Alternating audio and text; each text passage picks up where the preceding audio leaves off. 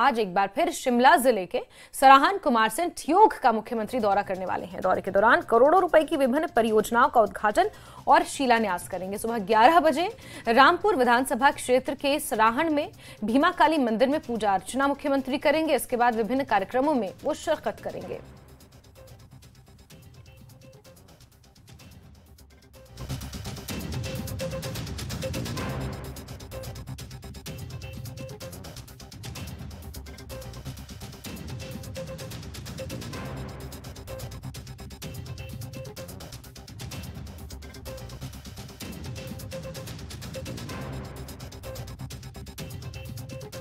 सुखू आज शिमला ज़िले में कई दौरों कई शिमला ज़िले के कई दौरे करेंगे। आपको बता दें, सराहन, कुमार सेन, ठियोग जाएँगे।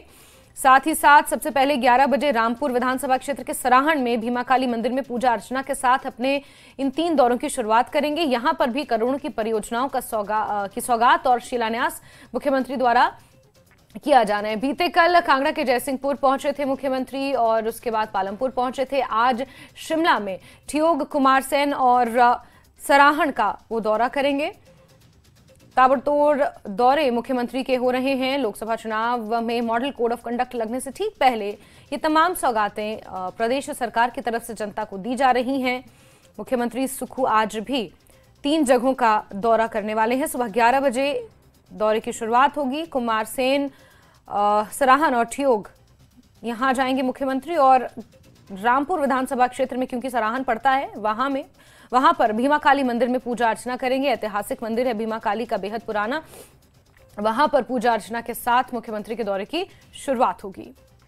राजेंद्र का रुख करते हैं शिमला से। राजेंद्र 11 बजे मुख्यमंत्री को सराहन पहुँचना है रामपुर विधानसभा क्षेत्र। तो कितने बजे शिमला से निकलेंगे और कौन कौन से मुख्य चेहरे मुख्यमंत्री के साथ आज नज़र आएँगे? शिमला को आज सौगातें मिलने वाली हैं। बिल्कुल जैस्मिन आज शिमला की बारी है और मुख्यमंत्री के साथ कैबिनेट मंत्री अनिरुद्ध सिंह और कैबिनेट मंत्री विक्रमादित्य सिंह। इसके अलावा कैबिनेट मंत्री रोहित ठाकुर तमाम बड़े चेहरे मौजूद रह सकते हैं। इसके हाँ। अलावा सीपीएस नंदलाल और मोहनलाल ब्राक्टा दोनों हैं।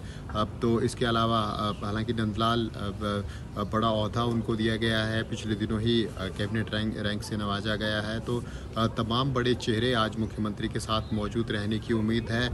करीब पौने ग्यारह बजे साढ़े दस से पौने ग्यारह के बीच में मुख्यमंत्री शिमला से रवाना होंगे और जो लंबे हम्म। समय से काफ़ी डिमांड्स स्थानीय विधायकों की तरफ़ से और जनता की तरफ़ से की जा रही थी तो आज वो डिमांड्स पूरी होने की उम्मीद है इसके अलावा मुख्यमंत्री क्योंकि लगातार संसदीय क्षेत्र शिमला का दौरा कर रहे हैं पहले सोलन में हमने देखा कार्यक्रम में मौजूद रहे मुख्यमंत्री उस जनसभा को संबोधित किया गया उसके अलावा मुख्यमंत्री फिर सिरमौर ज़िला के दौरे पर गए वहाँ पर जनसभा को संबोधित किया और सौगातें दी तो आज शिमला ज़िला की बारी है तो इसके साथ ही हम कह सकते हैं कि शिमला संसदीय क्षेत्र लगभग कवर मुख्यमंत्री की तरफ़ से हो जाएगा उसके। बाद फिर जो कांगड़ा संसदीय क्षेत्र का कुछ एक हिस्सा बचता है वहाँ मुख्यमंत्री जाएँगे और। फिर मंडी संसदीय क्षेत्र में क्योंकि अभी तक मुख्यमंत्री नहीं गए हैं तो उम्मीद लगाई जा रही है कि मंडी और हमीरपुर संसदीय क्षेत्र इसके बाद जाएँगे तो लगातार चुनावी दौरे ही हम इनको जैस्मिन कह सकते हैं चुनाव आचार संहिता से पहले जो मुख्य डिमांड्स स्थानीय लोगों की है और जो उद्घाटन और शिलान्यास किए जाने हैं